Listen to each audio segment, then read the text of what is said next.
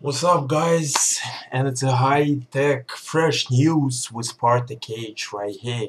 And today we're talking about the news about the Sony a65 24.3 megapixel DSLR camera with translucent mirror technology and uh, close specs.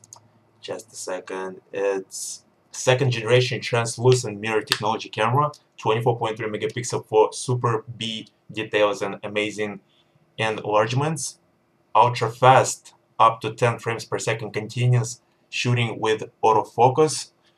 Then it's a world's first OLED viewfinder big and bright world's first HD movie mode with AVC HD 60p 60i and 24p so what else uh, and also it has ISO 16000 sensitivity for the night shooting Alright, that's it for today. Subscribe right there, comments right there, and don't forget, rate it if you like it or not. Alright, see ya.